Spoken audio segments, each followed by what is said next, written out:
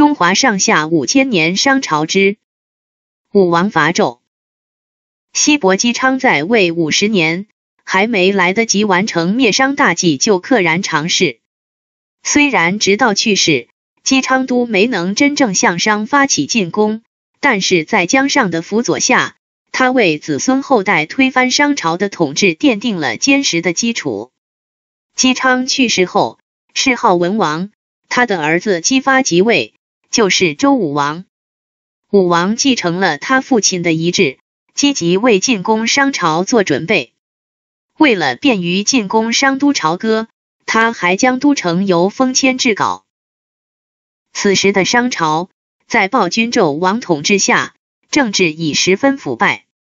为了试探商朝的实力和天下对攻打商朝的反应，武王在继位的第二年，以祭奠文王为名，率大军先西行至毕原（今陕西长安）。的文王陵墓，然后转而东航向朝歌前进，抵达黄河南岸的孟津（今河南孟津东北）。武王自称太子发，在军中竖起父亲西伯昌名字的大木牌，意在文王仍是大军统帅。闻讯赶来参加参加会盟的有八百多诸侯，在盟会上，武王举行了誓师仪式，并发布誓词。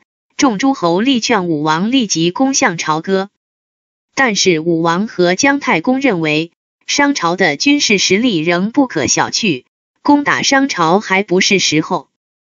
于是以诸位不知天命，告诫大家要静待时机成熟，并下令全军渡过黄河，班师回西土，等待时机。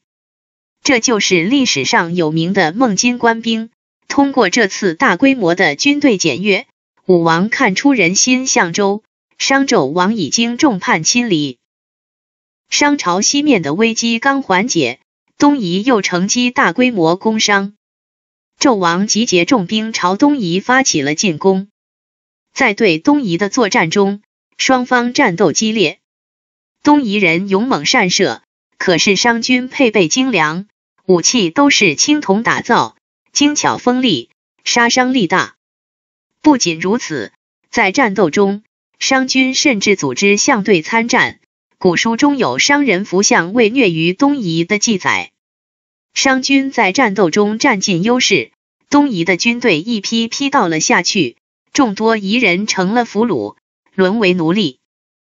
纣王指挥商军乘胜进军，势不可挡，一路冲杀，一直打到了长江下游，降服了大多数东夷部落。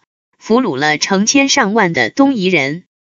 为了永绝后患，纣王甚至开通了一条大道，通往东夷，以便东夷起事时可以迅速调兵镇压。自此，中原和东南一带得以互通，加强了中部和东南部的联系，使商朝的文化得以在东南地区的长江流域广泛传播。长江流域自然地理条件优越。当地人又吸收了先进的农耕文明，发展非常迅速。但这次征战旷日持久，不断发兵加重了民众的负担，商朝国力大损，加速了灭亡。因此，《左传》中有“纣克东夷而陨其身”的说法。根据《左传》的记载，纣王很可能就是在这次征伐东夷的战争中，路过有苏氏部落，虏获了妲己。纣王有了妲己后，对他宠爱有加。虽然连年征战使得国力空虚，他却不思进取，反而更加骄奢淫逸，造露台，置炮烙之刑。良臣比干，箕子忠言进谏，一个被杀，一个被囚。太师、少师见纣王已不可救药，带着商朝宗庙祭器逃离朝歌。商王朝内部矛盾更加激化，武王跟姜尚认为时机已到，是时候发兵了。于是武王通告各诸侯国，果断决定向朝歌进军，进行灭殷的最后决战。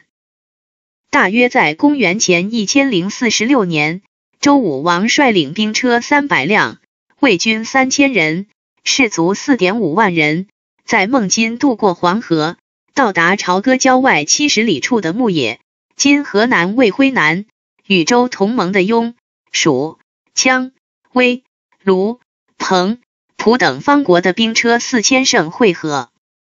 战前，武王举行了誓师大会，向全军发表誓词及上书目示。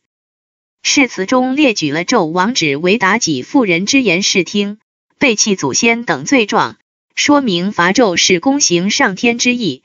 同时要求将士们在作战中要严明纪律，英勇杀敌。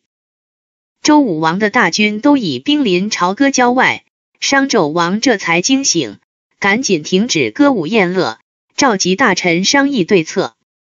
此时，纣王的军队主力在外地，城内兵力空虚，不得已，纣王把囚犯、奴隶、战俘武装起来，凑了十七万人开向牧野。仓促应战，双方在牧野展开决战。周军士气高涨，奋勇冲杀；商军则人心涣散，毫无斗志。武王利用人们对商纣的怨恨不满，鼓动兵士起义。结果，商军临时组织的军队阵前倒戈，调转矛头为武王的军队开道，杀入朝歌。这就是著名的牧野之战。纣王见大势已去，连夜退回朝歌，登上露台，自焚身死。周武王完全占领商都，商朝就此灭亡。之后，武王建立周朝，史称西周。